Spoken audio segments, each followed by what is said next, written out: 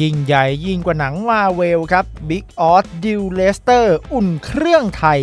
คุณต๊อบเสนอเปิดโหวต5 แข้งไทยเล่นฝั่งเลสเตอร์ หรือว่าตำนานศุภชัยวาร์ดี้กำลังจะเกิดขึ้นจริง ทั้งหมดนี้ในทดเจ็บ 4 นาทีครับ Suzuki XL7 รถยนต์ Multi Dynamic Crossover ตอบโจทย์ทุกการใช้โดดเด่นขั้นสุดระดับ XL กับสีใหม่สไตล์ two-tone สามารถสัมผัสและทดลองขับได้แล้ววันนี้ที่โชว์รูมรถยนต์ Suzuki ทั่วประเทศ ลูกค้า AIS ดูสดบอลไทยฟรีกว่า 800 แมตช์เพียงเปิดเบอร์ใหม่หรือย้ายค่ายมาเป็นลูกค้า AIS เอาแล้วสิครับจากตำนานการมโนของเจ้าชายกิเลน คุณต้องภาณุวัฒน์เขาเคยปั่นไว้นะครับว่าศุภชัยเนี่ยจะย้ายไปเลสเตอร์ แล้วก็ได้ฉายาศุภชัยวาร์ดี้จนสร้างเสียงหัวเราะให้กับแฟนๆตัวดูบอลไทยจนกลายเป็นฉายาศุภชัยวาร์ดี้อยู่พักหนึ่งเนี่ยครั้งนี้อาจจะได้เห็นศุภชัยสวมเสื้อเลสเตอร์จริง ๆ แล้วก็เป็นได้นะครับ ล่าสุดเลสเตอร์ซิตี้นี่จัดงานเปิดอนุสาวรีย์ให้แก่คุณวิชัยศรีวัฒนประภาครับ อดีตประธานสโมสรเมื่อต้นเดือนเมษายนที่ผ่านมา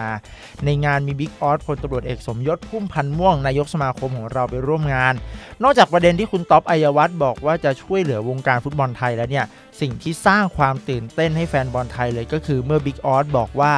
ตนได้คุยกับคุณต๊อบนะครับว่าหากมีโอกาสก็อยากจะให้เลสเตอร์เดินทางมาแข่งกับไทย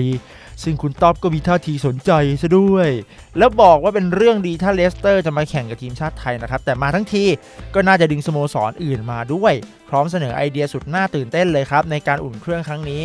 อยากให้มีนักเตะไทย 5 คนครับมาเล่นให้ฝั่งเลสเตอร์ โดยทั้ง 5 คนเนี่ยจะมาจากการโหวตของแฟนบอลไทยครับซึ่งถ้าเรื่องนี้เกิดขึ้นจริงจะเป็นครั้งที่ 2 ครับ ที่มีนักเตะไทยได้ย้ายไปเล่นให้ทีมจากยุโรปในเกมอุ่นเครื่อง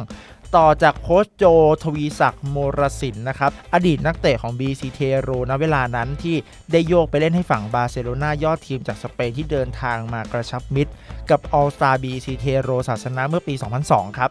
ลองนึกภาพนะฮะโกอุ้มได้เล่นแบ็กซ้ายให้เลสเตอร์นะครับถึงจะเป็นเกมอุ่นเครื่องก็เถอะ แต่ยังไงแฟนบอลไทยเห็นก็ฟินครับ เพราะเรารู้กันดีว่าระดับโกอุ้มเนี่ย ถ้าอายุน้อยกว่านี้เนี่ยยังไงเขาก็สามารถไปเล่นได้ยุโรปเหมือนกันนะ ไหนจะสารัชเจ้าอิ้นชาววัตที่จะได้เล่นร่วมระดับโลกอย่างวิลเฟรดเอ็นดิดี้เจมส์แมดดิสันในกองกลางก็คงบันเทิงไม่น้อย หรือเราอาจจะยังได้เห็นเจ้าอาร์มที่พ่อต้องแกอวยไว้ตลอดนะครับ ว่าจะเป็นตัวแทนเจมี่วาร์ดี้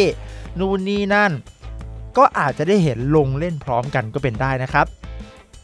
ถึงตอนนี้เนี่ยจะยังไม่มีอะไรชัดเจนเกี่ยวกับเกมอุ่นเครื่องนี้นะครับ และเป็นเพียงแค่การพูดคุยเบื้องต้นของสมาคมกับเลสเตอร์ แต่ถ้าวันหนึ่งมันเกิดขึ้นจริงอย่าง official เนี่ยนะครับ เกมนี้จะเป็นอีกเกมที่แฟนบอลไทยต่างรอชมแน่นอน และอาจจะเป็นเกมการเพิ่มสปอตไลท์ให้กับแข้งไทยในการเล่นต่างแดนมากขึ้นด้วยนะครับ หากนักเตะตัวแทนทั้ง 5 คนเล่นร่วมกับระดับโลกของเลสเตอร์ได้ไม่เคอะเขินเนี่ยก็น่าสนใจเลยทีเดียวครับ เอาเป็นว่าท้ายคลิปนี้ของทดเจ็บ 4 นาที เพื่อนๆ อยากเห็น 5 นักเตะคนไหนครับ ไปเล่นให้ฝั่งเลสเตอร์บ้างถ้าเป็นเกิดขึ้นจริงนะ คอมเมนต์กันมาคุยกันหน่อยครับ สุดท้ายต้องขอบคุณข้อมูลจาก Daily News ด้วยนะครับ และนี่คือทั้งหมดของทดเจ็บ 4 นาทีครับ